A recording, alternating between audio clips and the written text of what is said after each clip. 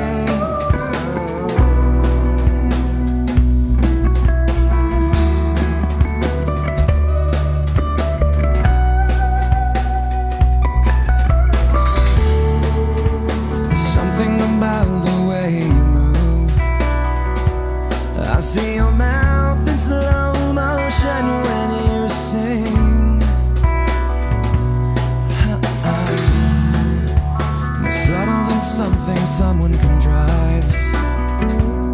Your movements echo that I have seen already.